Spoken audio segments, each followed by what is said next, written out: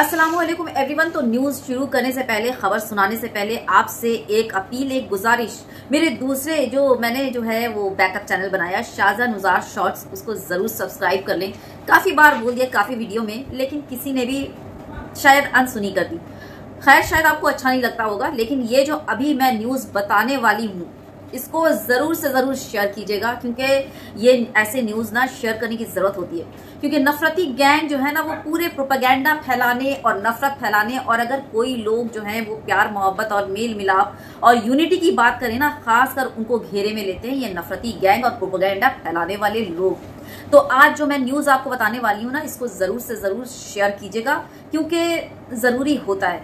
कहीं ना कहीं आपके साथ की ज़रूरत होती है।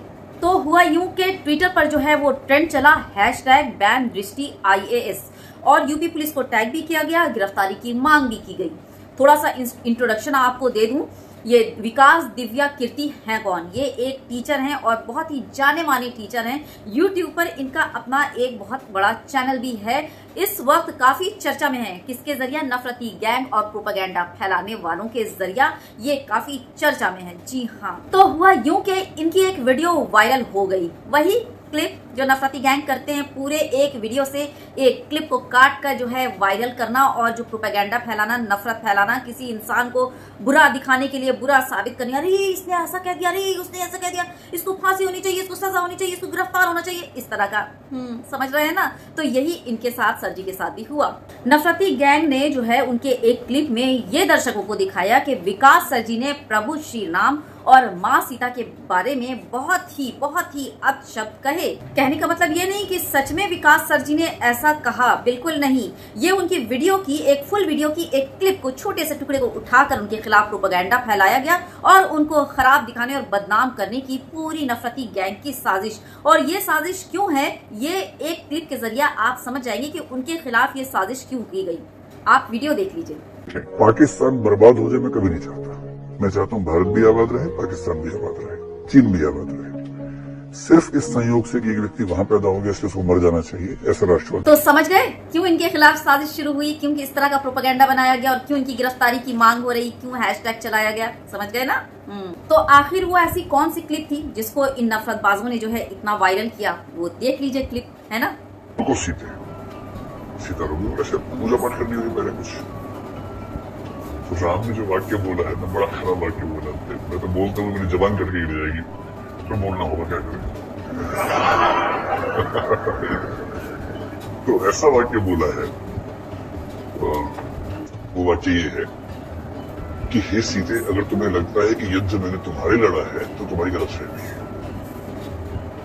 युद्ध तुम्हारे नहीं लड़ा है युद्ध अपने कुल के सम्मान के लिए लड़ा है और रही तुम्हारी बात जैसे कुत्ते द्वारा चाटे जाने के बाद घी भोजन योग्य नहीं रहता है, वैसे तुम अब मेरे योग्य नहीं हो। तो देख लिया, यही क्लिप थी जिसको नफरत बाजू ने जो है ज़बरदस्त तरीके से वायरल किया। सिर्फ़ एक पूरी वीडियो की, एक छोटी सी क्लिप सारे बेरोजगार प्रोपेगेंडा फैलाने वाले और नफरत फैलाने वालों को जैसे कि काम मिल गया, वो सब के सब लग गए। ये एकदम धड़ल्ले से, एकदम कीड़े मकोड़े की तरह ऐसे ऐसे के बाहर आने लगी।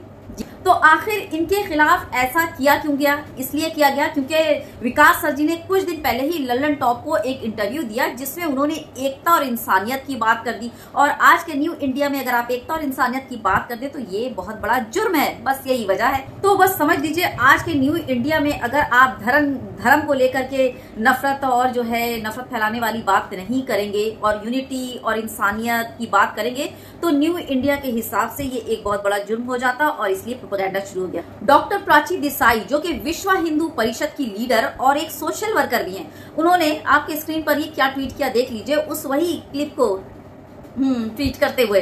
तो उसके जवाब में एक ट्विटर यूज़र है प्रियंका गुप्ता करके। उन्होंने शेयर किया प्राची देसाई के साथ और उन्होंने क्या कहा, वो आपके स्क्रीन पर है, मैं आपको पढ़कर सुनाती हूँ।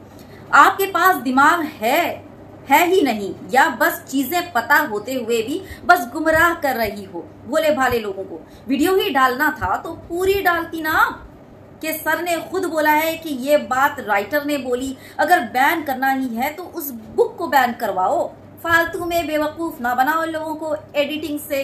जी हाँ बहुत सही बात कही। अगर आपको वो जो है शेयर करना ही था तो आप फुल वीडियो करती ना तो लोगों को आगे और पीछे का, के मामला समझ में आते। तो विकास सर जी जो थे ना, वो एक बुक के रेफरेंस से उस जो लाइन को वो कोट नरेट कर रहे थे। नरेट मतलब उसमें पढ़ा उन्होंने और उसको वो बता रहे थे। अब क्या है ना स्पेशल क्लासेस वालों को ज़्यादा इंग्लिश समझ नहीं आती, उन्होंने विस्तार में बताना पड़ता, समझा, समझाना पड़ता। फिर भी ये जो इतने इनके दिमाग में गोबर कचड़ा मूत्र भरा है ना, कि इनको समझाने के बावजूद बात समझ नहीं आती। जी हाँ। तो वो कोट कर रहे थे, एक नरेट कर रहे थे एक चीज़ को। अगर आपकी भावनाएँ आहत हो रही है, बहुत सारे लोगों ने ये भी ट्वीट किया कि भावनाएँ आहत हो रही है तो जिसने ये किताब में ये लिखा है, उस राइटर को बहिष्कार करो, है ना? जिसने ये भावनाएँ आहत की हैं, उनको जेल भेजो। विकास सर जी तो उस किताब में लिखे हुए उस कोटेशन को पढ़कर सुना रहे थे नरेट कर रहे थे। ना कि विकास सर जी ने खुद भगवान श्री राम और माँ सीता के बारे में अपशब्द बोले। बात समझ आ रही है, बुद्धि में अगर नहीं समझ आ रही तो ढंग से समझो, ठीक? चलिए आगे बढ़ते हैं। सौरभ द्विवेदी, जो कि लल्लन टॉप के चीफ हेड हैं, उन्होंने वीडियो फुल वीडियो शेयर करते हुए कहा है, विकास दिव्या कीर्ति के बारे में राय बनानी है तो उसे देखें सुने और फिर बाद में अपनी अपनी राय बनाएँ। जी हाँ पहले पूरी वीडियो देखें, सुने, ढंग से नहीं समझ आए तो दस लोगों से बैठकर मशवरा करें, फिर अपनी राय बनाएँ किसी के बारे में। तो तालीम एक ऐसी चीज़ है ना, जिसके ज़रिया इंसान जो है किसी की काया भी पलट सकता है और चाहे तो मुल्क में तफरका और नफरत भी फैला सकता है। तो तालीम के भी ना दो कैटेगरी हैं। एक तो अच्छी तालीम मतलब तालीम अच्छे तरीके से हासिल करके उसको अच्छे तरीके से यूज़ कर, जिसकी मिसाल है विकास, दिव्या सरजी और ओझा सरजी जैसे लोग। और दूसरी कैटेगरी है तालीम की, जो तालीम तो हासिल करते हैं एजुकेट होते हैं, सारी नॉलेज लेते हैं, लेकिन उसका इस्तेमाल गलत तरीके से करते हैं। जैसे कि ये आईटी सेल में बैठे नफरत फैलाने वाले लोग एजुकेटेड हैं टेक्नोलॉजीज़ जानते हैं किस तरह से इस्तेमाल करना है, लेकिन उसका गलत तरीके से इस्तेमाल करना, किसी के खिलाफ नफरत और प्रोपोगेंडा फैलाना। तो ये दो कैटेगरीज हुई। और आपको पता है, लोगों में ना नफरत फैलाना और जहर डालना दिमाग में, दिल में लोगों के एक दूसरे के खिलाफ नफरत को बढ़ावा देना, ये आज के दौर में सबसे आसान काम है। अगर अगर कुछ मुश्किल है तो वो है लोगों को एक करना, लोगों को जोड़ना, लोगों को यूनाइट करना। ये सबसे मुश्किल है, जो बहुत कम लोग ये करते हैं। जी। ध्रुव राठी, जो कि एक जाने माने यूट्यूबर हैं, उन्होंने कहा आईटी सेल के एम्प्लॉयज़ बहुत एक्सपर्ट हैं वीडियो को कट करके लोगों के सामने रखने में ताकि लोगों को डिफेम किया जाए, उनको बुरा दिखाया जाए। और उन्होंने ये भी कहा कि उन्होंने, यानी आईटी सेल वालों ने ऐसा पहले भी किया है। और आज फिर इंडिया के सबसे बड़े, यानी कि one of the biggest India के one of the biggest educator के खिलाफ टारगेट किया।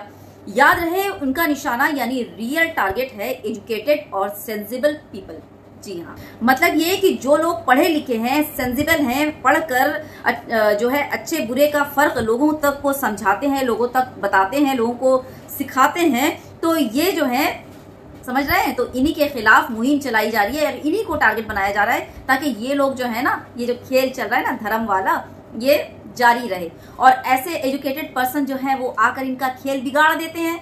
मत, समझ गए? तो इसलिए विकास सर जी के खिलाफ ये मुहिम चलाई गई। तो इस वीडियो को ज़्यादा से ज़्यादा शेयर कीजिएगा ताकि लोगों तक सही बात पहुँचे। ये जो आईटी सेल वाले जिस तरह से नफरत फैलाए हैं, उनकी पोल सबके सामने खुले, लोग सच्चाई जाने।